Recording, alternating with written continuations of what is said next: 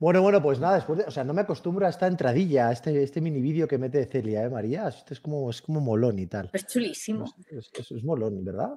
Eh, no, me dirías lo contrario, entiendo, porque es una, mujer muy, muy educada, pero, pero bueno, sí, es verdad que es la segunda vez que lo veo, es el segundo capítulo que hacemos. Bueno, buena, buena, buenas tardes. Eh, primero de todo, María, gracias por venirte, por prestarte. Sé que además estamos comentando bienes de una batalla de las tuyas, una batalla legal, hay que mucho tiempo, mucho trabajo, mucho sacrificio y tal y ahora estamos un poco como con la. Eh, cuando te da el bajón, ¿no? Te da el bajón de has estado como presionando los exámenes y tal, te da el bajón un poquito y tal, pero bueno, ya estamos justo comentando que, lo bueno es que en nuestras profesiones, María, pues tienes semanas y semanas para recuperarte, para estar tranquila, no hay trabajo esperándote, no hay cosas que estén pendientes, ¿verdad? Bueno, oye, eh, gracias, gracias por venirte y, y gracias por estar aquí. Buenas tardes, María. A vosotros por invitarme. Buenas tardes. Buenas tardes. Bueno, como te, como te he comentado, hoy es un día, bueno, triste un poco para mí, no quería, no quería dejar de decirlo, porque un gran amigo, que además gente que nos escuche seguramente lo conocerá, que es Borja Laiseca, pues ha fallecido su mamuca hoy y, quería pues dedicarle, mandar un abracito desde aquí, sé que él, sigue estas cosas y, bueno, oye, aunque ya estaba muy malita ya su mami, su mami pues, pues lo que comentábamos, ¿no, María? Pues nunca, nunca es una noticia que cae bien y, tal y, bueno, mandarle mucho ánimo, mucha fuerza a toda, toda su familia, a él, a Mary, a todo el mundo y sus hermanos, hermana, bueno, en fin, que, espero que estéis bien y mandaros un abrazo fuerte. Dicho esto, dicho lo cual, eh, algo que también es, que es inexorable, María, es que la vida sigue la vida sigue, el mundo sigue rodando y tal, y nosotros estamos aquí para hablar de un tema que a mí me interesa especialmente, ¿no? Eh, ya te hemos compartido, María, que al final de Cute Future of Work tiene, tiene, una, tiene voluntad no solamente de entretener y de pasar un buen rato y, oye, charlar y todo, todo eso, pero, pero también que sea un sitio donde la gente diga, ostras, yo quiero aprender alguna cosilla aquí, ¿no? Yo quiero aprender alguna cosa, yo quiero saber y tal. Y a mí era un tema, fíjate, cuando empezábamos a hablar sobre sobre, oye, ¿qué temáticas podríamos hablar? Pues, pues he empezado a hablar egoístamente, María, de temáticas que, a mí me interesan y que, y que además, pues, que, de las que soy un ignorante de, en muchas cosas, ¿no? Y una de ellas es todo lo que tiene que ver con el mundo, con el mundo legal, ¿no? Con la legislación, el mundo legal, y que es algo que, que es hiper importante para cualquier negocio, para cualquier cosa, o sea, tener en cuenta esto. De hecho, si escuchas a la gente adinerada, que en mi caso te dice, ¿cuál es la mejor decisión que tomaste? Tener un buen abogado. ¿no? Todo el mundo dice, y tener un buen abogado, tener un, tú expresas emprendiendo, tener un buen abogado, ¿no? Bueno, pues hay, hay muchos temas de los que me gustaría hablar. Eh, te lo he dicho antes, eh, justo unos minutitos antes de entrar, y te lo digo ahora, siéntete libre de esquivar cualquier tipo de bala que veas sobrevolar por el espacio sideral que tenemos, ¿no? Y, yo, diría, yo diré cosas pues, pues que, en las que, que pienso, que, pienso y tal, y, que me gustaría que, exploráramos, ¿no? Se habla mucho del futuro del trabajo, de la tecnología. El otro día, María, imagino que viste a nuestros amigos, a nuestro amigo Optimus, los robots de Elon Musk. Sí, sí, sí. Que meten miedo a Belcebú. Quiero uno para mi casa. Ya, ya. ¿Y para, y, para, y, para, ¿Y para el magistrado quieres uno? No. ¿Y para llevar los juicios quieres uno? Tampoco. No sé si sabes por dónde voy, ¿no? Sí, sí, exactamente. por eso te digo, quiero uno para mi casa. Para mi casa. Y que me haga mis cositas, ¿no? Y hoy que estaba lloviendo lo más grande, pues que, que baje a mis hijas y las deje en el cole, ¿sabes? Pero... Eso está muy bien. Pero entiendo que el bueno de Optimus, que nos lo venden hoy como nuestro gran amigo que va a venir a, hacernos, a lavarnos la ropa y hacernos la plancha, pues no sé cuánto tiempo tardará en estar operando, en mm. estar llevando juicios, en estar asesorando a empresas, estar haciendo podcasts. O sea, es que esto mete miedo, mete miedo, mete miedo, ¿no? De hecho, eh, Elon Musk habla mucho sobre la necesidad de regular la inteligencia artificial. Sí. No sé qué te parece a ti este tema. O sea, voy a empezar por aquí en plan súper random, ¿no, María? Pero, ¿qué te parece este tema? ¿Es algo que os llega? ¿Es algo que tenéis? ¿Es algo que, lo veis muy lejano? ¿Cómo, claro, a ver, el tema de la inteligencia artificial es algo que ha empezado a hacer realmente mm, muy poco tiempo, unos años apenas, y es algo que está evolucionando a ritmos frenéticos, ¿no? Entonces, eh, tenemos que tener en cuenta que el derecho en general es también lento y normalmente cuando se legisla de una forma rápida se suele hacer mal, como tenemos los ejemplos de la pandemia. Como todo. Como, todo, si lo piensas. Como todo en la vida, exactamente, como todo en la vida. Pero bueno, yo hablo de lo que yo conozco, que es mi Haz una tortilla rápida, a ver qué tal, ¿no? Pues te será peor que si la haces con cariñito. Claro, exactamente. Entonces, eh, regular la inteligencia artificial cuando no sabes cuál es el alcance que tiene esa inteligencia artificial es muy difícil, porque es como intentarle ponerle mm, vallas al campo. Entonces, eh, lo que hay que intentar conocer es primero qué alcance tiene esa inteligencia artificial, ¿no? Y entonces, hacer una regulación flexible de manera que se vaya adaptando a cómo vaya cambiando, ¿no? porque yo me imagino, y vuelvo al sector de la abogacía, eh, eh, ha habido abogados hasta no hace tanto tiempo que no tenían ordenadores, que trabajaban con, papel, con, máquinas de escribir y, lo hacían así, te estoy hablando de los años 70 a lo mejor, ¿sabes? Entonces, que no hace, no hace tanto tiempo realmente. Yo tengo compañeros que, han visto, en, esa, época. que han visto que han visto cómo pasaban de las máquinas de escribir y de buscar la jurisprudencia en unos libros gordísimos que publicaban todos los años a tener unas bases de datos espectaculares que metes cuatro palabras y te salen todas las sentencias de todos los tribunales de España. Entonces, eh, la inteligencia artificial bien utilizada es algo maravilloso, pero mal utilizada es algo tremendo. O sea, se han hecho miles de películas de esto. Terminator la primera y se hizo en los, en los, 80. Todos sabemos qué ha pasado con eso. Viste que salió una noticia de, gente que había metido, o sea, de, abogados en Estados Unidos que habían intentado hacerlo esto con ChatGPT y que habían metido unas, unos gambazos impresionantes, ¿no? Yo, perdona. Yo te voy a decir una cosa. Lo confiesas, ¿no? Yo lo, confieso, tengo, un post en mi LinkedIn en el que dije, el día que salió, la semana que salió ChatGPT, dije, adiós, nos vamos todos al paro. Esto fue lo primero que yo pensé. Y entonces metí un par de consultas y salió tan mal que me quedé muy tranquila. pero, pues pero claro, luego quiero decir, eh, tú tienes eh, la parte, digamos, más de inteligencia artificial, pero luego tienes también la parte humana. Yo creo que es, muy importante eh, meterle la parte humana a todo y eso nunca lo va a poder hacer una inteligencia artificial o por lo menos tal y como están concebidas hoy en día o como creemos que van a ser porque tú, como antes me ponías tú el ejemplo de un juez, pues tú puedes eh, nutrir aquí al robot de, todas las leyes, de toda la jurisprudencia y de todo, pero hay una parte que es de valoración de lo que está pasando en ese momento, de cómo mira uno, cómo hace el otro, si uno titubea, si uno no, ves a uno más seguro, ves a uno menos seguro, son cosas que siempre afectan a la hora de, resolver un juicio. Preparar una testifical, un testigo no es una inteligencia lo tienes que interrogar, ¿sabes? Entonces ahí es donde entra la parte que no se compra, por decirlo de alguna manera. Y eso te lo podrán decir casi todos mis compañeros, sobre todo los que, los que litigamos o negociamos. Cada uno tiene su estilo.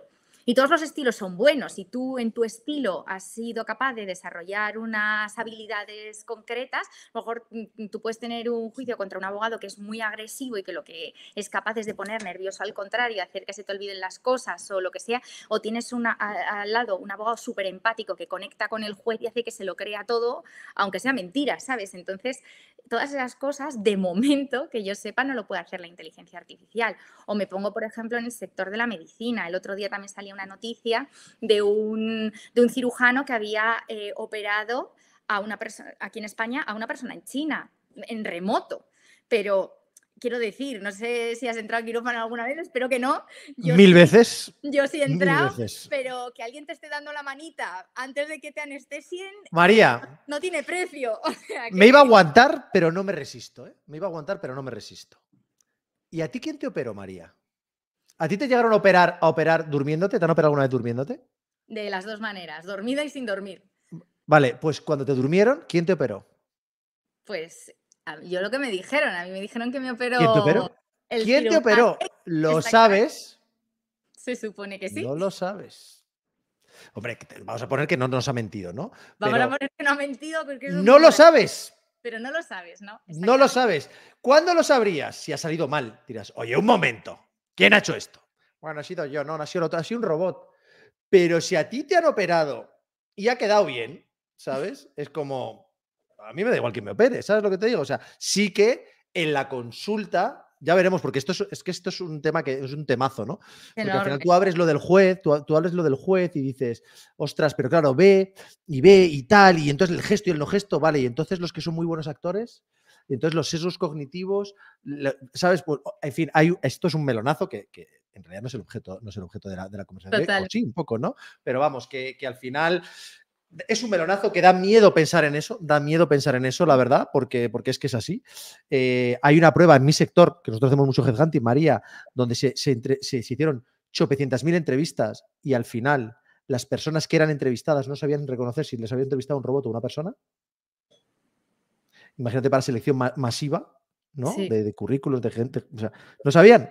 Es, una, es, un, es un robot que mantiene una conversación contigo absolutamente normal y que mm. reacciona a tus cosas y que si le cuentas un chiste hace como que se ríe, o sea, no sé, ¿no? Entonces, todo esto mete miedo a, a mi, humilde opinión, ¿eh? mete miedo a Belcebú directamente.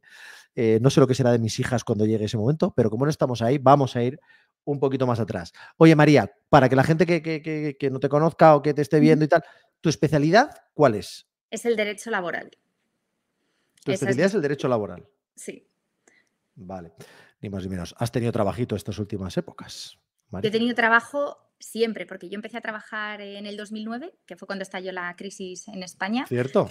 Los laboralistas tuvimos, mm, lamentablemente. ¿Tú empezaste a trabajar en esa época? En el año 2009. Ya, sé de qué, ya, sé de qué, quinta eres entonces. vale. Entonces empecé a trabajar en el año 2009, o sea, cuando el país se iba a la porra literal, bueno, el país y el mundo en general se iba a la porra. Y desde entonces, oye, crisis tras crisis y... Y, y venga y venga una serie de catastróficas desdichas una detrás de otra, porque digo, me habría encantado haber visto eh, el, país en bonanza y tal, pero yo eh, en principio nunca, esto no ha pasado. Entonces eh, pasamos de la época de la crisis, pasamos por una reforma laboral y cuando la cosa, oye, ya parecía que, que iba mejor, vino el coronavirus y entonces los laboralistas ahí directamente, si habíamos hecho un máster en la crisis, con el coronavirus directamente, mm, vamos, ya nos tuvieron que dar premios porque... porque fue absolutamente eh, loco. Eso, eso me trae, me, trae, ¿no? Porque al final me imagino estaréis todo el día, todo el santo día, que si ERTES, que si tal, para arriba, para abajo, ¿no? Todo, todo el mundo sin saber para cuánto tiempo, cómo, cómo aplica a quién. O sea, me imagino que eso tuvo que ser gestión del cambio y gestión de la incertidumbre, vamos, a la enésima potencia, ¿no? Mira, yo quería, quería, hablando, aprovechando un poco, si te parece, aprovechando un poco el tema este de, del coronavirus. Hmm. El coronavirus eh, nos trajo muchas desgracias, trajo mucha gente que se nos fue también, ¿no? Eh, no voy a frivolizar con esto, ni muchísimo menos, tuvo cosas malísimas, malísimas, malísimas. Y luego, pues como todo en la vida, tuvo, sus cara, tuvo su cara B y su cara ¿no? Tuvo algunas cosas. Hoy hablaba con una empresa que trabajo yo mucho, EMEIS, que son de eh, residencias de ancianos, que, ojo, los de las residencias de ancianos, la que vivieron, y nos compartían, estábamos hablando sobre lo que habían pasado, y decían que, bueno, que por lo menos eso les dejó la flexibilidad en términos de, de, horario y de trabajo y de tal, ¿no? Y eso se, se ha quedado en la empresa. Empezó con el coronavirus, le daban flexibilidad para entrar, para salir, para tal, no sé qué, no sé cuántos, y esto se ha quedado después, ¿no? Y también trajo algo que yo tuve como una especie de, revelación, te diría, con todo lo que tiene que ver con lo que es el mundo del trabajo remoto, híbrido, nuevas formas de trabajo, todo esto, ¿no? Entonces, eh, yo quería preguntarte alrededor de, este tema, porque creo que hay mucho, mucho, mucho desconocimiento en, en general lo, que tiene que ver con la legislación de esto. O sea, entiendo que una empresa, trabajo híbrido no es, pues venga, todo el mundo que haga lo que le da la gana. O sea, esto hay que tener, hay que tener cuidadito con, algunas cositas, ¿no? Y que creo que muchas, muchas veces no, lo pensamos, ¿no? quería preguntarte, María, ¿qué nos contabas tú sobre eso? Pues mira, exactamente, o sea, nadie sabe nada porque esto es muy nuevo. Eh, quiero decir, es que eh, este mes de marzo, hace cinco años, que nos fuimos todos a casa. Primero que cerraron los colegios, que a mí ya me pareció eso, lo, peor que te podía pasar, y luego ya eh, que nos mandaran a, casa cuatro días más tarde. Yo me acuerdo los días previos porque ya se empezaba a escuchar, ya había lamentablemente mucha gente en el hospital enferma, veías cómo estaban en Italia, cómo estaban en otros países y decías, es que vamos a ir igual. Yo recuerdo que tuvimos todos los laboralistas en el Colegio de Abogados de Madrid una reunión, estaba la eh, estaba la responsable por aquel entonces de trabajo y me acuerdo que, yo pregunté, digo, y digo, ¿y si mandan los niños al colegio, van a dar algún tipo de permiso para que los padres no les dice, pero ¿cómo vamos a hacer eso? Y usted sabe que esto se tarda en legislar para conseguir estas cosas y tal. Al día siguiente, al día siguiente mandaron a los niños a casa. En Madrid, que además en Madrid los mandaron un día antes que en el resto de España. Entonces yo decía, claro, ¿y, ahora qué hacemos? ¿Qué hacemos? O sea, tuvieron que ir eh, improvisando. Pero lo mandaron, si te acuerdas, María, perdón que haga este, este apunte, lo mandaron diciendo, en 10 días volvéis. Ah, sí, claro. Que nunca volvieron. Y nunca volvieron, exactamente. En 10 días volvéis. Y yo, yo fue cuando dije a mis hijas, le dije, iros con los abuelos. Porque en aquella no, y luego, luego cuando dijeron, oye, que no vuelven al cole y por cierto, no mandéis a los niños con los abuelos, ¿no? Y yo, venga, gracias, ¿no? Pues demasiado tarde. Eh, exacto. Entonces, eh, el tema de la incertidumbre eh, era, era patente en todos, los, en todos los ámbitos. Y claro, cuando las empresas, cuando te dicen, venga, 10 días, luego 15 días, luego, claro, las empresas decían, es que tenemos que seguir funcionando porque hay muchas empresas que no podían permitirse un ERTE, que no podían permitir parar su actividad. Claro, si tú, hay casos y casos, ¿no? Porque el tejido empresarial en España es enorme. Tú tienes tiendas que evidentemente están abiertas al público, si no hay público para entrar, no puedes hacer nada. Pero tienes otras compañías que pues por su actividad, por su tal, si los trabajadores estaban en remoto, sí que podían seguir. Y claro, hay que pagar sueldos, hay que pagar alquileres. María, una, pregunta muy básica, ¿vale? Pero que, yo creo que no todo, todo, el mundo ha oído hablar de esto, pero esto es como las megas, ¿no? ¿Qué es un ERTE y en qué consiste? Pues mira, un ERTE es una suspensión temporal del contrato de trabajo, pero colectivo. O sea, es como un ERE, que es un pero que son despidos. Lo bueno, entre comillas, del ERTE es que es temporal, ¿vale? Es expediente. es como si despides a la gente temporalmente. como, como si las despidieras temporalmente, exactamente. Por eso lo llamamos suspensión. Entonces, ¿tienes que pagar un finiquito? No. No. No, pagas finiquito, claro. Claro, o sea, tú los suspendes en un momento determinado y luego se reincorporan. De hecho, cobran la prestación por desempleo durante ese tiempo. Es decir, pero los ERTE. ¿Pero cobran algo de sueldo? No, no, porque hay como muchas variantes, ¿no? Había hay, una parte que no. claro, con el coronavirus hubo mil, mil, mil, tipos de ERTES distintos, ¿no? Que si los de. No me acuerdo cuáles eran los nombres, pero en función de la actividad, del tal. Eh, había como cuatro o cinco tipos. Primero hubo uno y luego se fueron como profesionalizando y los fueron dividiendo. El tema es que el ERTE ha existido toda la vida, o por lo menos toda la vida desde que yo estudio Derecho, que parece que se lo inventaron, pero que siempre ha existido. Entonces, eh, eh, es una regulación, o sea, por ejemplo, cuando se incendió la fábrica de Campo Frío en Burgos, que esto fue antes del, coronavirus, si no recuerdo mal, o cuando hicieron la obra del, Hotel Ritz en Madrid, antes del coronavirus, se hicieron ERTES. ¿Por qué? Porque yo voy a cerrar mi hotel, voy a hacer una obra gigante, mando a todo el mundo a su casa, que durante esos dos años tú estás cobrando tu prestación por desempleo, puedes buscar otro trabajo, puedes hacer otra cosa, y pero luego tú vuelves y vuelves a tu puesto de trabajo con tus condiciones, etcétera, etcétera. O sea, es temporal. Vale, pero tú podrías buscar, podrías buscar trabajo con otro contrato indefinido o tendría que ser otra contratación diferente. En ¿Entiendes la pregunta? Sí, sí. A ver, eh, el tema es que si buscas otro contrato de trabajo indefinido, uno, no vas a cobrar las prestaciones por desempleo. Vale, vale. Estás teniendo un ingreso y dos, mm, Cierto. De mañana cuando te digan devolver, pues tendrás que renunciar a uno. Tienes que dejar el otro, vale, vale, vale. Vale, te he entendido, efectivamente. Lógicamente, no, Luego había algunos que te, como que te complementaban, ¿no? O sea, tú tenías como el desempleo, pero la empresa te daba también un porcentaje, ¿no? Era algo así ahí nos estamos metiendo ya en un jardín, eso dependía del, por ejemplo, eso entra dentro de las bases reguladoras, las prestaciones, etcétera, etcétera, porque las prestaciones por desempleo dependen de lo que tú cotizas y de la base reguladora eh, por la que tú has cotizado. Y además, eh, y el número de años que has cotizado, bueno, son unas fórmulas eh, complejas, ¿no? Entonces, había veces que pues lo que tú recibías por desempleo no cubría el 100% de tu salario, porque pues, tú, cobrabas más de lo que era tu base y entonces te pasabas del máximo, bueno, cosas así. Y hubo empresas que complementaron ese trocito y dijeron, venga, te lo complementamos. Pero realmente, eso por ejemplo se hace mucho en las bajas por enfermedad. Hay convenios que te obligan, de hecho. Pero quiero decir que es que ya nos estamos metiendo en un jardín que además a mí, eh, como esa regulación se hizo toda tan mal y, tan terrible, la verdad es que mejor olvidarla porque, porque fue, algo, fue algo complicadísimo todo. todo vale. ¿Cuándo, o sea, ya entrando en, oye, pues luego eso provocó que muchas empresas pues dijeran, pues ya no tenéis que venir a la oficina, ¿no? Y luego hay gente, pues hay empresas que ahora están volviendo, ¿no? Ha salido lo de Amazon, ¿no? Ah. Amazon ahora dice, oye, todo el mundo para de vuelta, ¿no?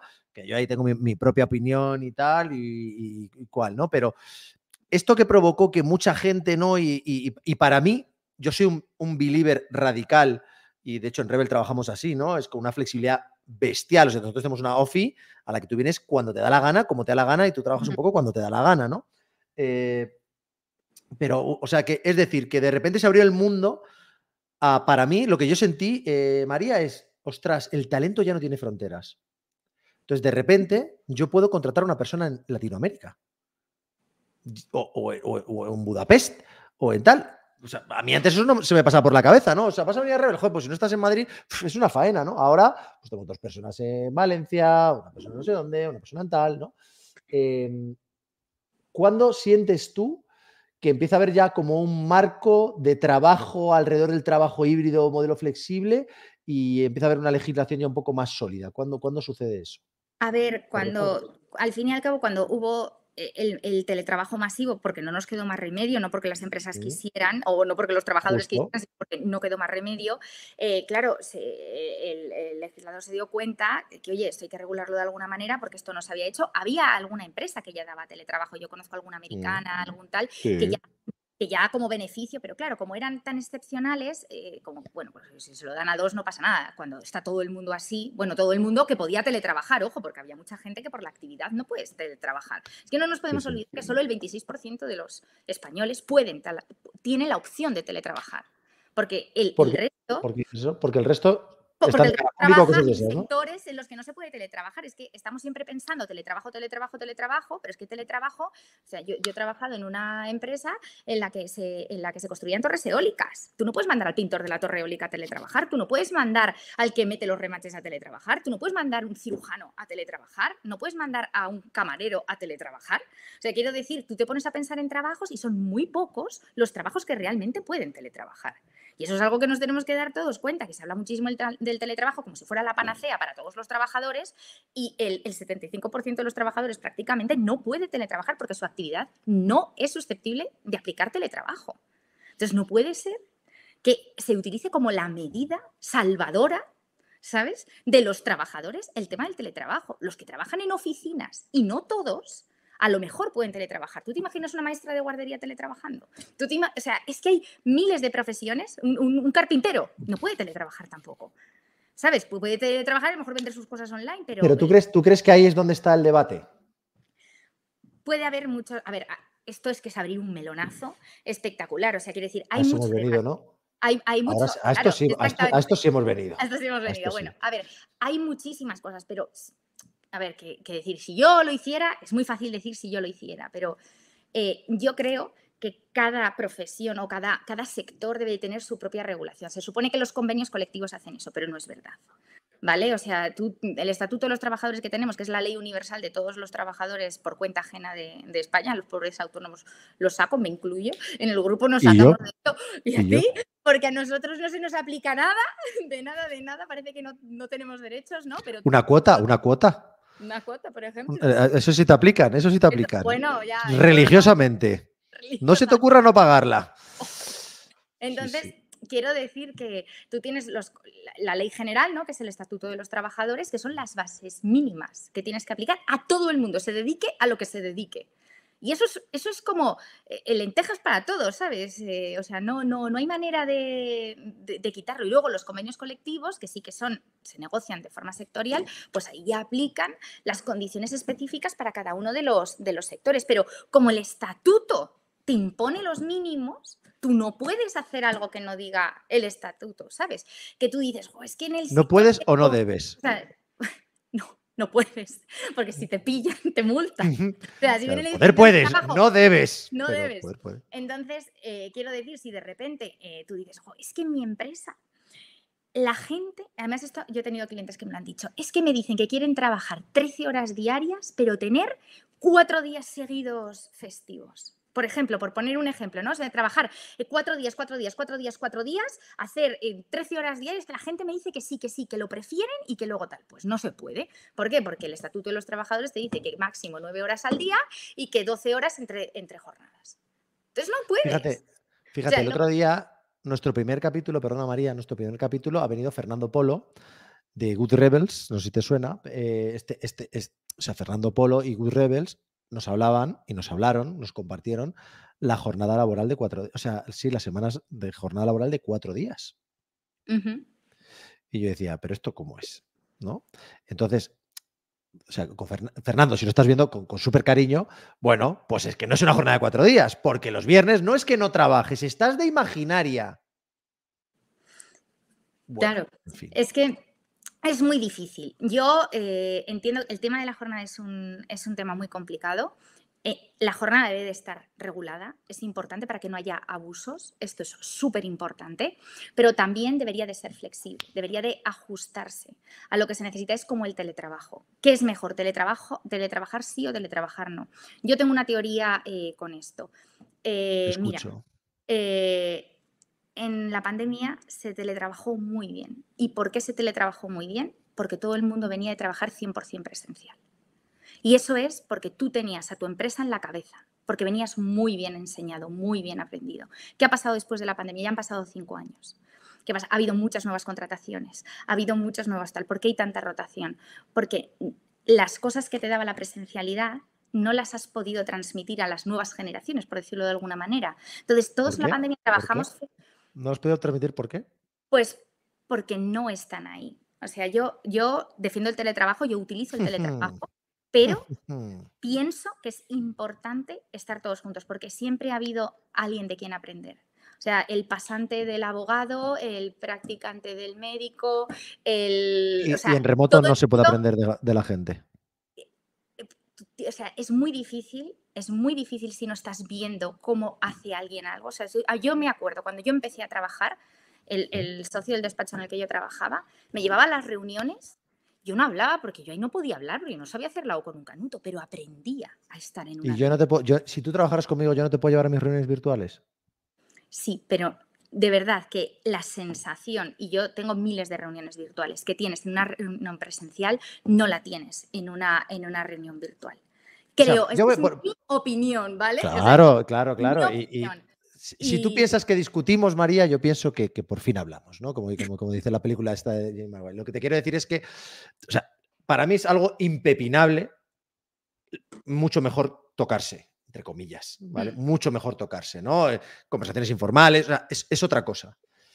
¿Qué te permite esta flexibilidad o el para la gente que pueda? O sea, para mí, alguien debatiendo sobre que es que un carnicero quiere, quiere teletrabajo es que me parece absolutamente ridículo, es que no hay conversación. Yo en la vida jamás he estado en una conversación, en un debate alrededor de si un cabrero puede teletrabajar o no, si un pintor de torres eólicas puede teletrabajar o no. Es que es ridículo, ¿no? Eh, podría, o sea, no hay conversación para mí ahí. Para los trabajadores del conocimiento, donde, oye, de repente hay muchas tareas que podemos hacer solos, de repente hay muchas tareas que se pueden hacer y de repente yo puedo tener acceso a un talento que trabaje conmigo que está en Canadá y de qué otra manera sería imposible, claro que yo preferiría estar con él, pero si no puedo estar con él, de repente la tecnología me permite esto, ¿no? Y se nos abren nuevos espacios y nuevos modelos colaborativos y modelos organizacionales y modelos de trabajo. Este es el punto, ¿no? Eh, entonces, si yo te compro, o sea, todo lo que tú estabas diciendo, yo te lo compro, te hago un poco de abogado del diablo, ¿no? Porque yo he tenido que chequear mis propias creencias, ¿no? Es decir, no es que no se puede, bueno, se puede, es diferente. Y a lo mejor no es tan efectivo, pero poderse se puede. Nosotros lo hemos hecho. Y poderse se puede, ¿no? No, quiere decir, yo he teletrabajado también muchísimo, como te puedes imaginar, todos los ERTES los, los, los planteé todos estando en casa, negociando con mis clientes y tal. O sea, eso fue así. Pero, sinceramente, creo que, y entiendo un poco el tema de la vuelta a la presencialidad, yo no defendería el 100%, yo creo en los modelos híbridos, porque yo también... el futuro para mí es ese, es híbrido, no, es remoto. Creo que es importante para empaparte de la cultura de una compañía, tienes que estar ahí. O sea, yo de verdad que lo veo, porque tú lo ves por los pasillos, lo veo. O sea, yo he estado con gente que en el momento en el que estás con esa persona, dos, tres horas, has captado muchísimo más que, si, que en diez reuniones virtuales. Y yo soy la primera que utiliza las reuniones virtuales porque a mí me viene fenomenal. Si tengo un cliente en Valencia, poderle atender así, me ve la cara, hablamos juntos. De hecho, eh, es así pero, pero aún así, eh, para la persona que está aprendiendo, creo que es importante, porque una cosa es que fiches al incluso también, porque conocer a la gente, estar... Si hablas de cultura, da lo mismo la seniority. Si hablamos de cultura, da lo mismo Da, da lo mismo la seniority. Pero si además de cultura tienes que adquirir experiencia, como te puede pasar cuando tú sales de la carrera, tienes que hacer otra carrera, que es tu propia carrera. Es decir, tienes que aprender. O sea, vale, ya te sabes las bases, tienes tu título. Ahora, como cuando yo salí de, la universidad, tienes que aprender a ser abogado.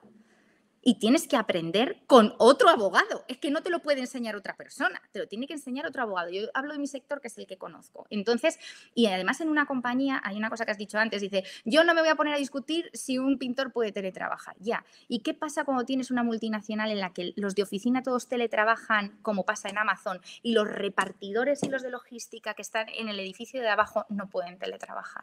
¿Qué pasa? ¿Qué pasa? ¿Qué pasa? ¿Sabes, esto que me traes? ¿Sabes esto que me traes? Absolutamente nada. Te voy a hacer una cita. Te voy a hacer una cita de una película. ¿Vale? La película es Django desencadenado. Entonces, van escenas finales. Va el doctor Walsh con Django. Django va a caballo.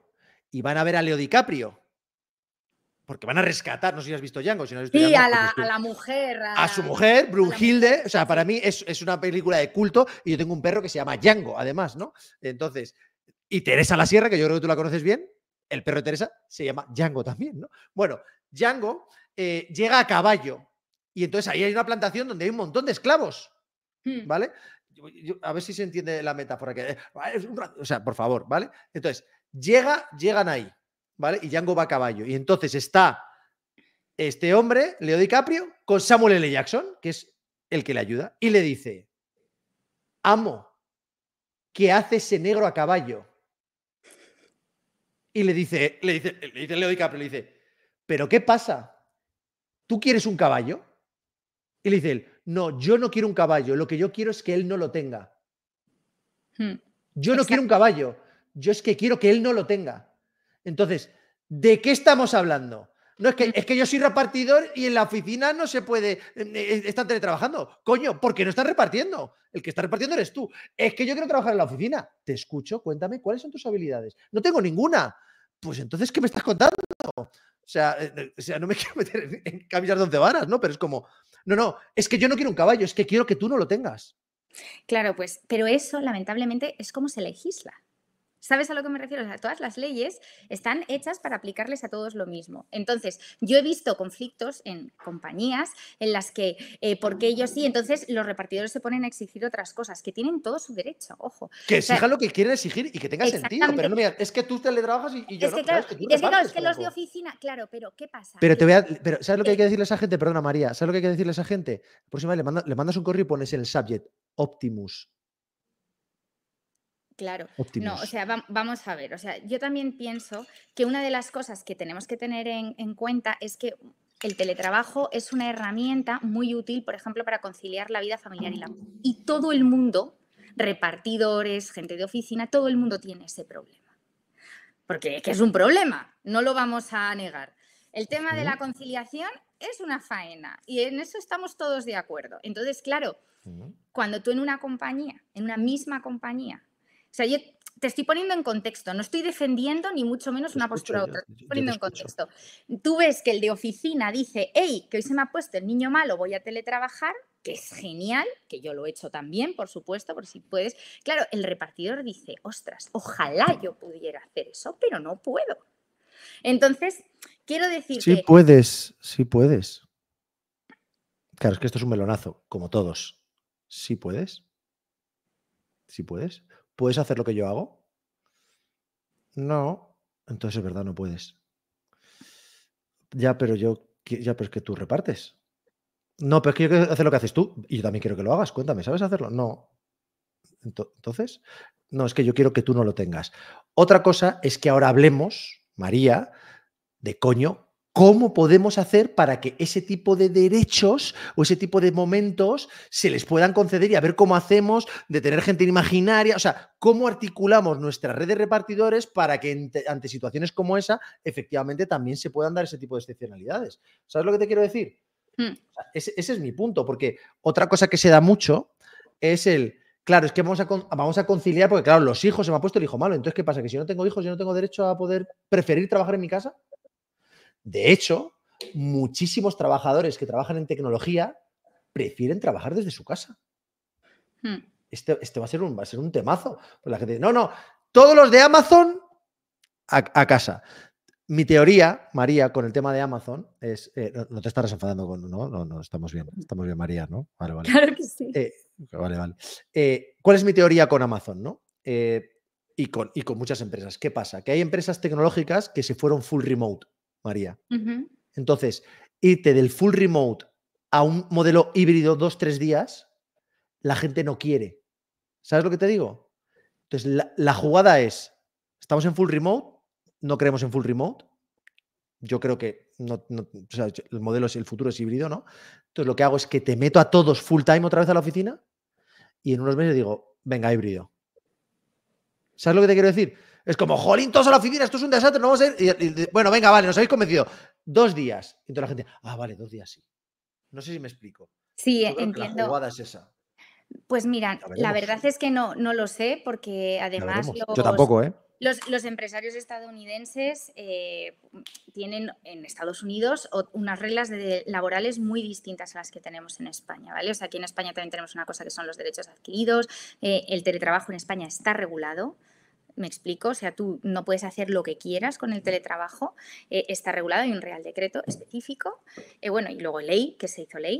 Eh ¿Nos darías tres tips sobre eso, María? Bueno, ahora, perdona, pero tres tips de regulado, en qué sentido y tal. Pues mira, en el momento en el que un trabajador pasa la mayor parte de su jornada teletrabajando, y mayor parte de su jornada, creo que si no recuerdo mal, es a partir del 30% de su jornada. La jornada puede ser anual, eh, mensual o diaria, ¿no? En cómputo.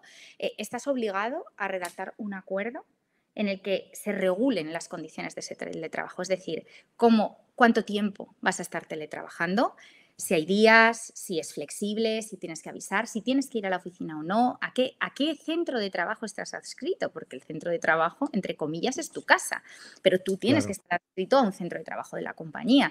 Eh, ¿Cómo va a ser la prevención de riesgos laborales? Si te van a pagar, eh, bueno, que es obligatorio además, eh, pagar un plus por el teletrabajo, los costes que a ti te, te está obligando a gastar ¿no? E, esa, esa luz, ese tal, y que la empresa además te proporcione pues, una silla, una pantalla, un teclado, porque hay gente que tiene un portátil ya, pero eso eh, eh, enfocado a la prevención de riesgos laborales.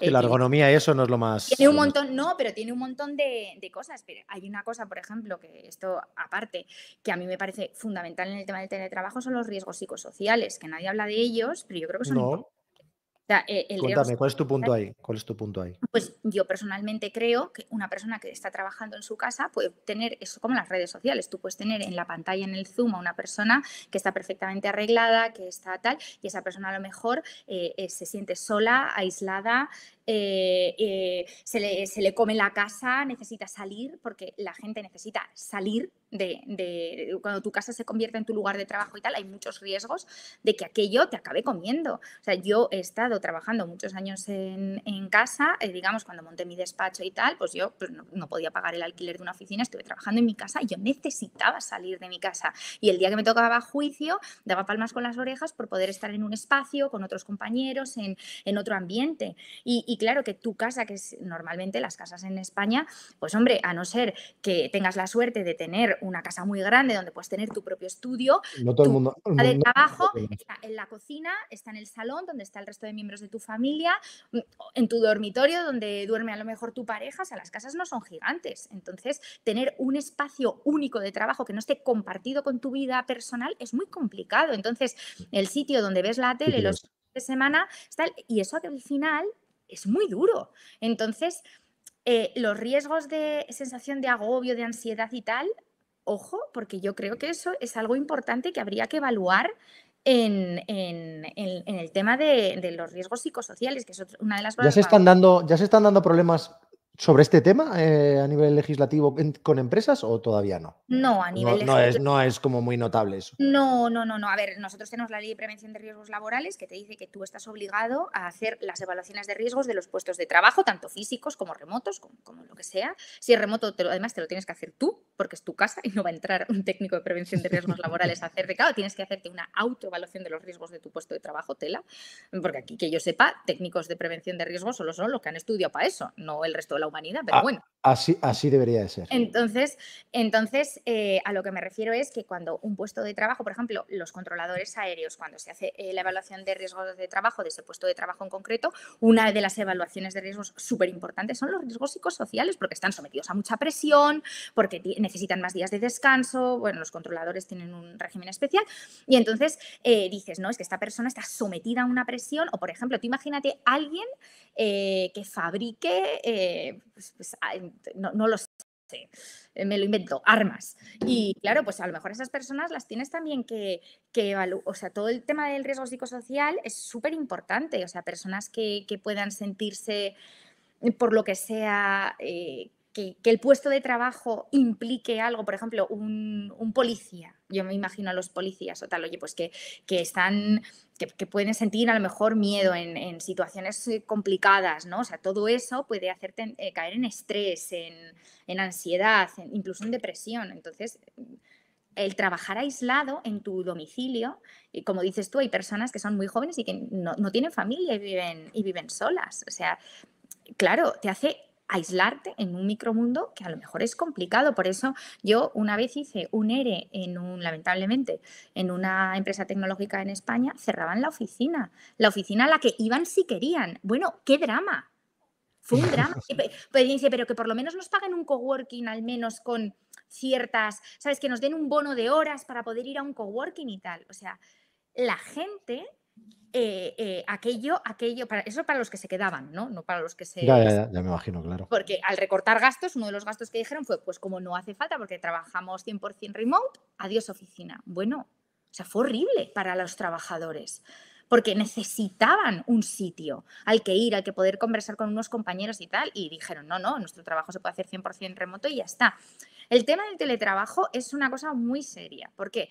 porque, tú, piensas en las grandes ciudades como Madrid o como Londres o como París, porque claro, dices, mm, teletrabajas en Burgos o, en, una ciudad sí, más a las afueras. Sí. Tengo mucho cariño a Burgos o en Zaragoza, que hmm. también le tengo mucho cariño. O sea, si son ciudades más pequeñas, a ti te cuesta poco llegar a tu centro de trabajo, pero tú estás en Madrid, tienes la oficina en el polígono industrial de Alcobendas y vives Muérete. En Fuenlabrada, lo que te cuesta a ti llegar en transporte público ahí o en coche, comiéndote todos los atascos de la M30, eh, eh, es, una hora y media de ida, una hora y media de vuelta. A lo tonto se te ha ido media mañana, ¿sabes? O, mediodía en, ir y volver. Y podemos, y, podemos meterlo tú de psicosociales, ¿eh? porque llega ahí después de una hora y media de atasco y claro, y, a colaborar. y vuelves cansado y puedes tener un accidente en itinere, eso está claro. Eh, porque vas cansado y estás saliendo a las 8 de la tarde y no llegas a tu casa hasta las 9 y media porque ha habido partido del Madrid y se ha atascado todo el paseo de la Castilla. Por, poner un ejemplo. Sí, sí, sí. sí, que esto pasa. Entonces. Quiero decir que el, teletrabajo, claro, para las personas o en Londres que tardan como una media de dos horas de ida y una media de dos horas de vuelta en tren, porque no pueden ir, porque no se puede meter el coche en la city. Entonces, mm, eh, que les cuesta eso, claro, ¿cómo van a querer volver si, si tienen cuatro horas de, de viaje al día?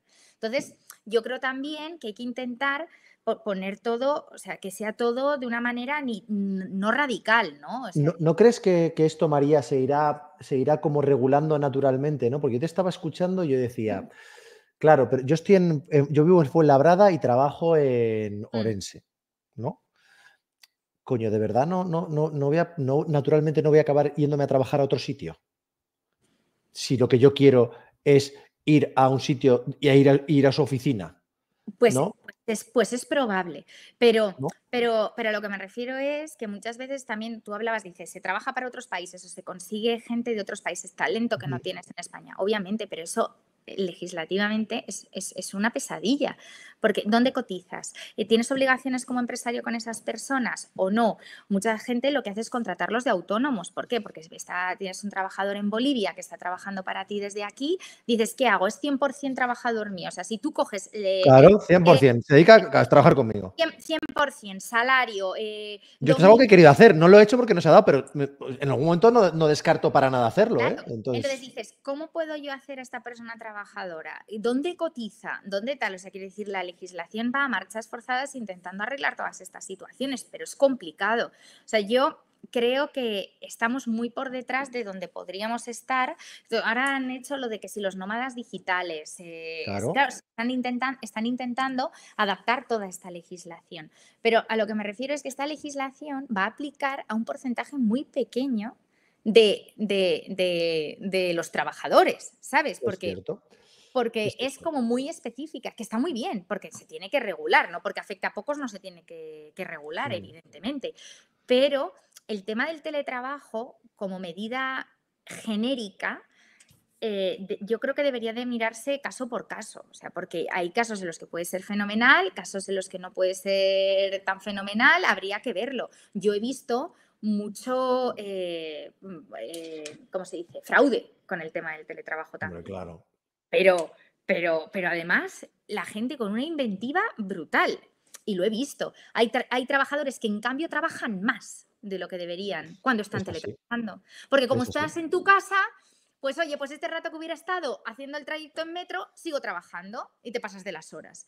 O sea, quiero decir que hay de todo. O hay, o hay gente que dice, mira, como no me monitorizan o como me monitorizan simplemente si abro la pantalla y tal, mientras tanto pongo una lavadora o mientras tanto hago no sé qué, porque eso también se hace. Con, con esta tendencia tan bestial María, esto ya es opinión pura y dura y Totalmente, totalmente. Tú no tienes, tú no tienes la, respuesta, yo tampoco la tengo, ¿no? Eh, con toda esta automatización tan bestial con nuestro amigo Optimus Prime, o sea, todas estas películas, ¿no? Hmm. ¿cuál, crees que, va a ser el, digamos, el, grueso, el colectivo de, de, profesionales que verdaderamente van a tener acceso al trabajo en 15 años? ¿no? Porque pues, pues, un temazo eso, ¿no? Es un pues temazo. pues probablemente los puestos más cualificados. Y eso es un problema. No, es un temazo. Es un temazo, ¿por qué? Porque ¿dónde metes tú la, inteligencia artificial? Por ejemplo, en mi sector. En mi sector, sobre todo, la inteligencia artificial sirve para hacer modelos, porque es verdad que es un rollo tener que estar con un contrato que son todos iguales, me refiero. entre comillas. Entre comillas, pero que dices, oye, pues tengo que hacer un contrato de trabajo de esta empresa. O pues si todos son iguales, pues voy metiendo. Pero claro, ¿dónde está el tema? En el senior que coge ese y dice, no, en este, en este caso en concreto. Cuidado con esto, tal. Hay que meterle a este esta cláusula, a este esta otra. ¿Por qué? Por esto, por esto, por esto, por las características de esta situación concreta. Entonces, eh, claro, eso lo que va a hacer es que se van a mermar sobre todo los puestos de trabajos más repetitivos, por ejemplo, de, facturación, eh, digo en el tema, o, por ejemplo, el tema de los repartidores que has dicho antes, oye, pues si hay, los robots son capaces de cargar, de, conducir, de llevar el producto al tal, pues te lo lleva un repartidor o te lo lleva otra persona. Ahora bien, ¿qué pasa cuando haya un problema y ese paquete no llegue? Porque el repartidor tiene mi teléfono, coge mi teléfono, me llama, señora, ¿está usted en casa? Si no está en casa, ¿dónde se lo dejo? ¿Se lo dejo a su portero? ¿O me paso media, pásese media hora más tarde a ver si puede? Eso un robot probablemente no lo puede hacer. ¿Cómo serán esos retos, no? Eh, es, que es, apasionante, o sea, mete miedo porque al final yo no sé si me, iré a otro, país, eh, ¿sabes, María? Para, para, volver a vivir. O sea, yo no, no sé si quiero vivir efectivamente, pero DHL ha salido que DHL ha hecho un piloto bastante heavy en Estados Unidos con el camión de Tesla autotripulado, mm. sin conductor, ¿sabes? Y con resultados sorprendentemente satisfactorios. Ya, pero esto es como, yo te digo una cosa, ahora todos podemos pagar con el móvil. Yo siempre llevo una tarjeta de crédito. ¿Qué pasa el día que te quedas sin batería, que a mí me ha pasado? No puedes pagar. No puedes pagar. Entonces, quiero decir, ¿yo uso la tarjeta de crédito del móvil? Sí, como todo el mundo que llevo también mi tarjeta de crédito normal, es más, también llevo efectivo, porque nunca se sabe cuántas veces me he subido en un taxi y el datáfono no funcionaba. ¿Cuánto tardaremos, ¿Cuánto tardaremos en pagar con huella dactilar, María? ¿Cuánto tardaremos en esas cosas que son locuras? ¿eh? Yo te digo una cosa, yo no quiero vivir en ese mundo. No quieres vivir en ese mundo, yo tampoco. No, no. Yo creo, yo, ¿eh? yo, sinceramente creo, llámame utópica, llámame lo que quieras. Yo, mm, yo trabajo, o sea, por mi sector, yo trabajo un derecho que es derecho de personas. El derecho laboral es un derecho de personas, no es el derecho civil, no es el derecho mercantil, es un derecho que, que regula relaciones entre personas bueno, entre una empresa que es una persona jurídica y, una persona física que es el trabajador. Pero en la figura del empresario que normalmente, pues ahí hay un jefe, ahí hay un director, ahí hay un algo. Y hay algo, hay algo más ahí que, que no se puede tocar, ¿vale? Y eso Eso es lo que nos hace humanos a todos. Y por eso creo que es importante mantenerlo, en la medida de lo posible. Yo, mm, que tengo equipo... Creo que eso va a haber que, eso creo que va a haber que legislarlo, ¿eh, María? Que eh, y volvemos al comienzo de la, de la, de la mm. conversación. Elon Musk habla de la necesidad de legislar para evitar que, que, el mundo que se nos quede sea un mundo en el que no queramos vivir, ¿no? Porque igual tú te imaginas un doctor, un psicólogo robótico diciendo, te, entiendo, entiendo lo que estás haciendo y tú dices, oye, tú no entiendes una mierda, ¿no? Porque tú eres un puto robot, estás programado para decir eso, ¿no? Entonces, eh, entonces Elon Musk habla de, legislar estos temas, ¿no? Y poner un poco, intentar mm. acotar un poco el tema porque este, esto se puede ir de madre de verdad, de verdad, de verdad, ¿no? Sí, pero yo creo que lo que hay que poner en valor es, a las personas como somos, con, eso que aportamos que no tienen las máquinas. Y de verdad que creo que es fundamental, creo que en todas las profesiones. Yo eh, cada vez compro menos online. Hubo una época, claro, con la pandemia todos nos dedicamos a comprar, porque estaban cerradas las tiendas, pero Mm, yo, mm, de verdad, a mí me gusta ir a la tienda a, probarme mi vestido, a probarme mis zapatos, eh, que la dependienta me aconseje. Eh, ¿Por qué? Porque luego, mm, pues alguna vez, no voy a decir que no compro online porque mentiría, claro que lo hago, pero quiero decir, la experiencia de compra, el hecho de poder ir, poder elegir, verlo, eh, eso da algo, da algo que no te lo da. Eh, y, hacer un clic es muy fácil. Y yo ya te digo que muchas veces necesito una cosa rápido, no me da tiempo ir a la tienda y la compro online. Pero en la medida de lo posible, a mí me gusta mantener eso, el, ir a la librería, poder elegir tus libros y tal. Ahora bien, me viene la profesora del colegio de mi hijo me dice, para mañana el libro del no sé qué. Pues está claro por dónde, va, por dónde se va a comprar, porque yo no tengo tiempo para ir a la tienda ese día, para que al día siguiente tenga el libro el niño. Pero yo creo que, si entre todos intentamos parar el tema de la inteligencia artificial, esto al final va a acabar como el metaverso. Yo soy una firme convencida de esto. El metaverso, el metaverso, el metaverso, el metaverso es un bluff. Hace un par de años, dos, tres años, todo el mundo hablaba del metaverso y ahora ¿Oyes a alguien hablar del metaverso? No. Yo creo que la inteligencia artificial está muy bien. Por ejemplo, yo utilizo eh, pues, todos utilizamos en nuestra profesión algún tipo de inteligencia artificial. Ostras, eh, eh, el típico traductor cuando te vas de viaje a un país donde no hablas el idioma, hablas por aquí y te... Pues ostras, eso ayuda, el Google Maps. ¿Quién no, quién ha utilizado esto? Tú decías, ¿cómo lo hacía mi padre cuando, no, cuando se quería ir a no sé dónde en coche y llegaba? O sea, es que llegaba. claro, la la guía ahí dando vueltas. Quiero decir. Yo se lo he vivido con mis padres. Yo se lo he vivido. y yo, pero quiero decir, pero que, hay cosas que están genial y que son herramientas maravillosas, pero hay otras, hay otras que, personalmente creo que sin ese punto humano no, funcionan. Y va, creo va a haber que, legislar ahí, va a haber que legislar ahí. ¿eh? Va a haber que legislar porque además se pueden vulnerar muchísimos derechos muchísimos derechos. Te pueden copiar la voz, te, puede te pueden copiar. Pues eh, o sea, habrá fraudes, ¿eh? habrá, habrá cosas muy peligrosas, eh, temas de propiedad intelectual. Ahí ya me estoy metiendo en áreas que no son. Otros melones, otros melones, pero eso sí. Y además de los que no tengo ni idea, porque yo sé de derecho laboral, no sé de nada más. El otro día una persona que conozco, el otro día una persona que conozco ponía cómo puedes crearte un avatar tuyo que es exactamente igual que tú. O sea, no es que sea un dibujo, que eres tú hablando el idioma que te salga de las narices y pudiendo programar contenidos para que tú salgas hablando aquí, igual tú y yo somos eh, un fake, ¿sabes lo que te digo? Entonces tú programas contenidos, en fin, pues sí, es verdad que, mete, miedo, mete miedo todo esto. Eh, yo, te, yo, te, yo querría, o sea, llevamos 52 minutos, María, a mí me resulta esto súper, súper interesante, ¿no? Porque igual te ha podido dar la sensación, de que es que a mí los derechos de los trabajadores me las trae al pairo y entonces, claro, yo no quiero un caballo porque lo quieres tú, porque yo quiero que tú no lo tengas, no sé qué. No, yo estoy aquí, yo me, yo, yo me dedico a lo que me dedico María porque quiero ayudar a la gente y creo que lo que hacemos y queremos hacer desde Rebel es humanizar toda esta película, ¿no? Eh, pero es cierto, confieso que yo no, o sea, yo no quiero que tú no quieras que yo tenga un caballo y tú, ¿sabes? Por el hecho de que yo no lo tenga, y si tú no puedes tenerlo, ¿no? Porque tú no lo quieres, pero tú quieres que yo no lo tenga, ¿no? Lo que quiero es que luchemos por las cosas que tú quieres, a ver cómo, utilizando la inteligencia colectiva, los valores humanos de todos y tal, conseguimos que efectivamente si tu hijo se pone malo, yo siento que tú también debes tener la posibilidad y la oportunidad de poder cuidarlo.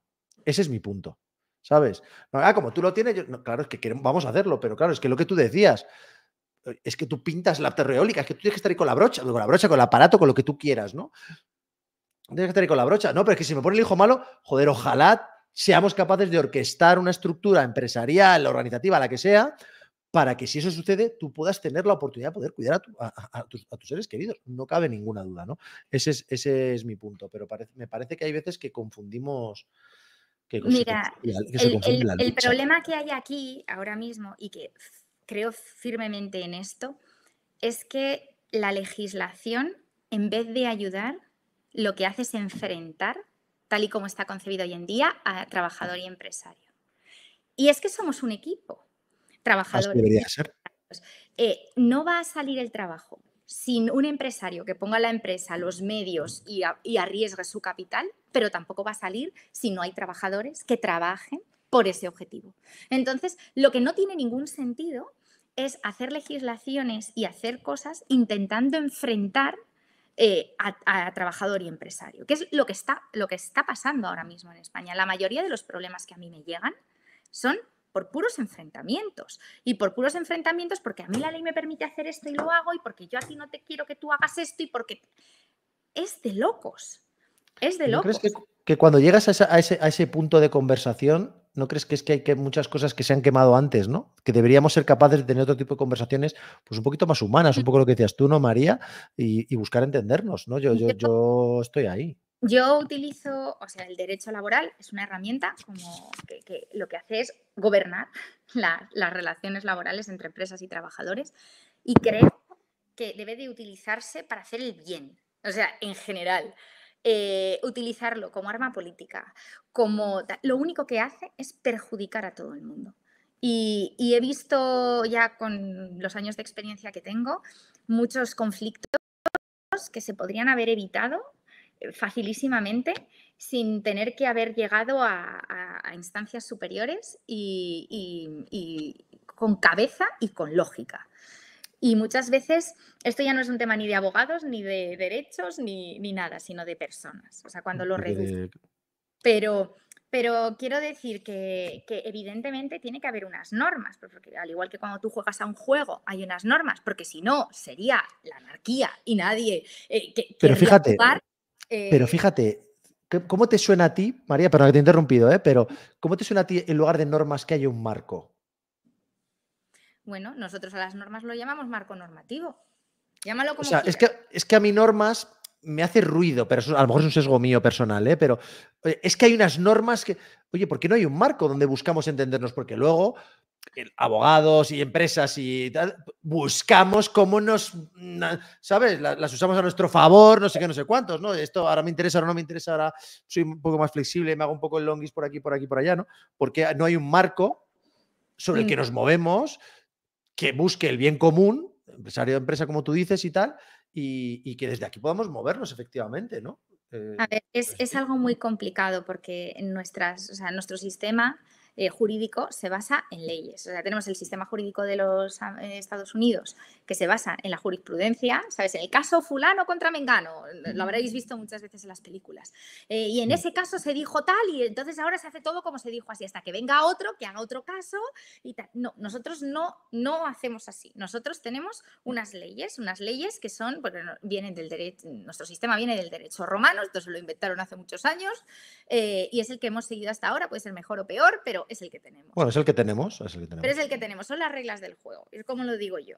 Eh, es, es al final se necesitan reglas como se necesitan límites en la vida. ¿Por qué? Pues porque si no, cada uno haría lo que quisiera y no se respetaría a nadie, porque somos egoístas por naturaleza. Entonces, yo creo que es importante que eh, lo que pasa es que esas reglas tienen que permitir flexibilidad. Es decir, que si las dos partes están de acuerdo en hacerlo de una determinada manera, que no sea por culpa de una ley que no te lo dejen hacer. Pero, claro, ¿cómo, ¿cómo, protegen a todo el mundo? Es que es muy complicado proteger a todo el mundo. Difícil. Entonces, yo por eso abogo más por una legislación más específica, por sectores, con gente que sepa del tema. Porque quiero decir, a mí que pongan a, que fulano decida regular algo de lo que no tiene ni idea, pues oye, pues pon a un médico a regular un tema de cómo son los turnos que deben de ser en los hospitales. ¿Tú sabes hacer turnos en hospitales? No, ni idea, yo tampoco. ¿Por qué? Porque yo no sé las necesidades de un hospital, yo no sé, mm, mm, tú me entiendes. Entonces, eh, creo que ahí sí que deberían de elegirse expertos que de verdad fueran reconocidos en el sector para que la gente estuviera cómoda con, con la legislación finalmente. eh, saliera adelante y, garantizar la paz social. Porque tú no puedes trabajar ni, ser empresario ni ser trabajador si no hay paz social. Eso es lo más importante. Es el tesoro a proteger. ¿Conoces, ¿Conoces María Fetico? ¿Te suena? Sí, claro. Me, me súper encantan hasta el infinito y más allá, que, hablan un poco de esto. Ellos quieren sindicato que, que, construya. Que luego no sé si lo harán en todos los casos, no harán, pero yo a mí me encantan ellos, ¿sabes? Y me encanta esa filosofía. Cuando los escuché la primera dije, yo quiero ayudar a esta gente. De hecho, les he metido en un montón de sitios, ¿eh? porque digo, ¿tú tienes sindicato? Háblate con esta gente. Y, todos los sitios donde han ido, la gente está, está como muy contenta. Hablan de eso, hablan de eso, oye, que, queremos defender los derechos de los trabajadores, pero también queremos sumar y construir con la empresa, ¿no? Y, navegar juntos, ¿no? Es que si te... cargas la empresa, te cargas el trabajo, que eso es lo que parece que los legisladores no entienden. Es decir, si tú haces una, una legislación tan bestial como la que tenemos últimamente, que se ha endurecido que no quiere decir que no haya que respetar ni proteger a los trabajadores. Yo he sido trabajadora por cuenta agenda muchos años, pero muchos. O sea, quiero decir que entiendo que deben de existir y tienen que existir. O sea, es que es obligatorio. No, no puedo concebir la vida sin ello, pero no pueden ahogar y no pueden evitar una flexibilidad para la compañía. Porque si no, el problema es que si la compañía se va a la ruina, eh, nos vamos a la ruina todos. Entonces, el tejido empresarial hay que construirlo, no destruirlo. Y yo he visto a muchos clientes que me han dicho, si esto es así, cierro. Y han cerrado. y, han y un problema de uno se ha convertido de repente el problema de 200. Y dices, es que hemos hecho una tontería enorme con este tema. Y todo porque esta norma se ha aplicado o esta norma era demasiado gravosa. Pero María, te, quiero hacer dos preguntas para terminar, que me estaría contigo hablando un, rato mucho más largo. ¿eh? Gracias, por cierto. Gracias por, todo este rato. Te quiero hacer dos preguntas. Con esto quiero terminar, ¿no? Eh, siempre bajo el marco de la voluntad de que exista entendimiento mutuo, construir valor, eh, paz social, ¿no? Siempre desde ese marco, ¿qué le dirías o qué le recomendarías a un trabajador que está en un, e, en un, ecosistema o en un entorno, un modelo de trabajo híbrido, o que de repente le dicen, oye, que hemos cambiado la política. es que nosotros nos llegan proyectos de estos, María, ¿eh? de queremos hacer una política de trabajo híbrido. Vale, pues ¿qué le recomendarías a un trabajador que tuviera en cuenta y que mirara y que qué cosas tendría que saber? Y la empresa. Bueno, pues, pues, lo primero, como tú has dicho, contratar a un abogado. Porque la, ley hay que cumplirla siempre. Eso para la empresa. Eso para la empresa, o sea, la ley hay que cumplirla siempre. Si la empresa cumple la ley, que es, lo que, eh, es para lo que estamos, eh, eh, el trabajador va a estar bien. ¿Qué tiene que tener en cuenta un trabajador? Oye, pues primero, si el teletrabajo está regulado en su convenio colectivo. Porque muchos convenios. ¿Eso qué haces? ¿Lo, preguntas directamente? O sea, eso, se puede, eso tú, en, el contrato de trabajo, siempre una de, las, una de las cosas que debe de venir obligatoriamente siempre establecida es qué convenio colectivo regula la relación laboral, ¿no? Entonces tú pues, te vas a tu convenio, están eh, publicados en los boletines oficiales o del Estado o de la comunidad autónoma en función de lo que te aplique, y ahí tú puedes ver si, tu si el teletrabajo está regulado. Si está regulado, pues oye, ahí viene, la empresa también puede hacerlo, ¿eh? porque dice, oye, ¿qué normas ah, tengo yo debe, ¿no? debe, trabajo mi compañía? De hecho, es más que recomendable que lo haga. Ah, bueno, porque dice, ah, mira, pues hay que pagar un plus de tanto, porque está ya regulado, no lo tengo que calcular yo. Pues mira, ya me lo dan hecho, pues esto es lo que tengo que abonar. O ahí vienen, ah, es que vienen todas las reglas del juego establecidas. Eh, ¿Qué otras cosas? Bueno, pues eso ya más de un punto de vista de recursos humanos, hace una política de teletrabajo que respete, por supuesto, las leyes y el convenio. No podemos hacer cosas demasiado originales porque entonces... No debemos. Poder se puede, pero no debemos. No, te asustos. No debemos, porque no queremos susto, pero es que luego la gente dice, bueno, pero esto a mí me ha pasado con startups que han venido a España, que han querido mantener el modelo de Estados Unidos, luego ha venido la inspección de trabajo, ¿y por qué tengo esta multa? Porque claro, Pues, porque pues porque hay que cumplir la ley, la ley es la que es, lamentablemente, se, te guste más o te guste menos, esa es la que hay. Y entonces es la que hay que aplicar. Entonces, adáptate. Eh, en la medida de lo posible. Todo lo que sea mejorar esa ley, esos requisitos mínimos, va a ser bienvenido. Lo que no puedes es empeorarlo. Y entonces, pues tú coges y, en, función de eso, pues te haces tu política de teletrabajo.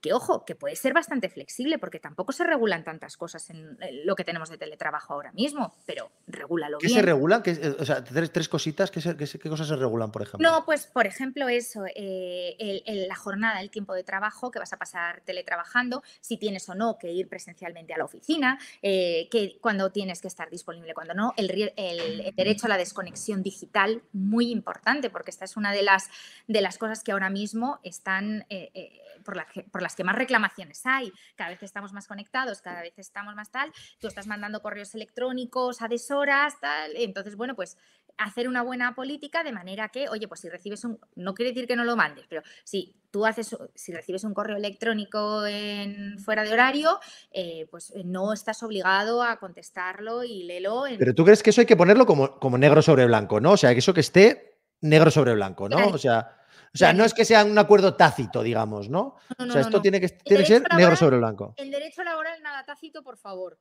Todo por escrito. O sea, porque luego, cuando hay problemas, dices, ¿dónde estaba eso? Nosotros no tenemos eso, María, te cuento, nosotros. O sea, eh, eh, el ejemplo nuestro real, ¿no? Aquí no hay horarios, María. Cada uno hace el horario que le da la gana. Empiezas a la hora que te da la gana. O sea, que hay objetivos que tú cumples, ¿sabes? Y tú haces el horario que te da la gana, usas el tiempo para comer que te da la gana, vas a por tus hijos o no. Si te da la gana, eh, mm, no sé si me explico, ¿no? Que te quieres trabajar por la tarde, pues trabaja, que no quieres trabajar, pues no trabajes. O sea, es un poco. yo no me estoy fijando en eso. Pero luego, luego vienen los problemas. Y el día que. Porque hay un artículo muy bonito que te dice que el empresario está obligado a registrar la jornada de sus trabajadores. Claro. Y el día que venga la inspección de trabajo y te pida ese registro y tú no lo tengas, vas a tener un problema. El día que un trabajador. Hay un mínimo de trabajadores para eso, ¿no? Hay un mínimo de trabajadores, ¿no? Para registrar la jornada laboral. ¿O no? no? No recuerdo si hay un mínimo, si te soy sincera ahora mismo, pero yo igual creo. Es, igual para mí es un wannabe, ¿eh? A lo mejor es, algo que deseo y a lo mejor no, no, existe. Pues ¿eh? mira, pero... sinceramente no recuerdo si hay un mínimo, tendría que mirarlo. ¿Vale? No, ahora mismo así de memoria no, no lo recuerdo. No, yo creo que en general el empresario está obligado a registrar la, la, jornada de sus trabajadores. ¿Por qué? Porque si a ti un trabajador te viene y te dice, eh, Rafa, esta semana he hecho 10 horas extras y me las debes, si tú no tienes ese registro de jornada para demostrar que no las ha hecho, se las vas a tener que pagar. Y, se las pagaría gustoso. ¿Sabes lo que me... Junto con otra cosa. Claro, y entonces ahí es cuando te van a demandar por lesión del derecho a la garantía de indemnidad. ¿Pero por qué? Porque te ha reclamado. ¿Y, yo se lo he pagado? Ya, pero es una consecuencia directa de haberle. Estamos hablando de un despido, ¿no? Lo digo por Claro, improcedente, improcedente. No, nulo nulo. Vale, si ella, si esa persona reclama, ¿no? Si esa persona reclama, claro, claro, si no reclama, si no reclama, no, pero ya te aseguro yo, o sea, yo no conozco un solo trabajador que se le haya despedido y no haya reclamado. O sea, ya te lo digo también. Yo conozco unos, yo conozco unos cuantos, ¿eh? Bueno, pues porque se les habrá despedido con razones procedentes. Esa no es procedente. No. Hombre, es que no se le. vale. Negaré haber dicho esto en un podcast aquí en público. No, pero claro, efectivamente. Pero es, ostras, vale, es que yo no, ya no te quiero tener aquí. Ya, pues, quiero tener aquí. pues entonces o se habla con el trabajador o Eso es, eso es, eso es, eso es. o sea, no va a ser, oye, ah, esto, vale, pues toma y toma, ¿no? No, no es eso. Pero, ahí tienes un problema y entras una cosa que se llama el mutuo acuerdo y si esa persona accede al desempleo es un fraude de prestaciones. ¿Sabes a lo que me refiero? Entiendo lo que dices, entiendo lo que dices. Ya, o sea, todo tiene una consecuencia, absolutamente todo. Entonces, por eso te digo, eh, las reglas están para algo. Para no llegar a ese fraude de prestaciones, estaría bien que registraras la jornada. ¿Sabes? O sea, todo es una cadena. Y si falla un engranaje, por pequeño que sea, puede haber problemas. O sea, el, derecho, o sea, se inventó precisamente para poder regular todo esto. Si las leyes son más duras o menos duras, eso es, nuestra. Ahí es donde está la lucha. Eso es otra conversación, ¿no? Eso es, otra, conversación. Exactamente. Es, decir, haz leyes que realmente me permitan tener una flexibilidad. Haz leyes que no hagan que no quiera contratar. Haz leyes que me permitan pagar mejores sueldos a mis trabajadores para que a mí, porque claro, si tú me estás atacando a mí frontalmente, yo no voy a beneficiar a otro. O sea, ese es el Hombre, Yo tengo, yo, tengo claro, María, personalmente, ¿eh? al final que yo intento que todo el mundo esté súper bien pagado y que tenga todo lo que tal, y yo no cuento si has hecho 10 horas o 37, 150, 50 horas, entiendo lo que dices, que dices, oye, un momento, pues esto te puede traer por aquí esto, ¿no? Esto te puede traer por aquí esto. Ándate con ojo porque de repente hoy está todo muy bien, pero mañana no lo está y alguien te coge y te dice, oye, y te mete un puro y te mete un problema que te cagas y tal. Ese será un maravilloso día para iniciar el camino, María, hacia no volver, darle, a no volver a darle empleo a nadie. Eso es lo que le pasa a mucha gente. Y, quedarme solo. Sí, sí, eso pasa, eso pasa. Yo doy, empleo, yo doy empleo a 11 personas. El día que eso me pase, mm. ¿qué es lo que me falta? O sea, es ya lo que me falta, será el día que diré, vale, pues ahora vamos a ver cómo iniciamos un proceso. Lo más humano, María, lo más humano, porque eso no es culpa de otros, porque yo, yo siempre digo que porque a mí un empleado me haga una faena, y ahora vamos a sacarlo de este tema, ¿no? Me haga una faena o lo que sea, no tiene por qué pagar el resto. No todo el mundo es igual, ¿no? No tiene por qué pagar el resto. No, pero bueno. lo normal, lo normal es que los trabajadores trabajen bien. y es lo normal. Y es lo que yo he vivido. eso, es lo normal. Y eso es lo que yo he vivido. Eso, es lo normal. Lo raro, o sea, porque yo, evidentemente, uno de mis trabajos principales es hacer despidos, despidos disciplinarios por las cosas más variadas que te puedas imaginar.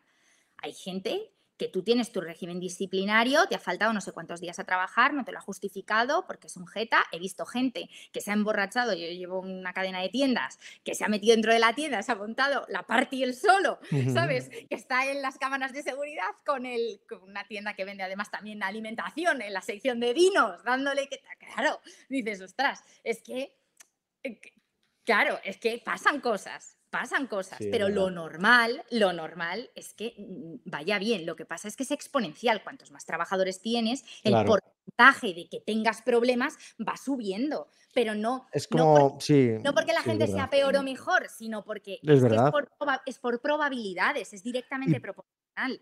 Y por pura diversidad, ¿verdad? Yo, hablamos mucho de eso, ¿no? Que al final la gente es de su padre y de su madre, la gente pues, pues mira por sus cosas, que, me parece muy bien y que, es, lo que debe, es lo que debe hacer, ¿no? Es verdad que cuanto más grande te haces, pues todo esto se complica mucho más, no cabe, ninguna duda.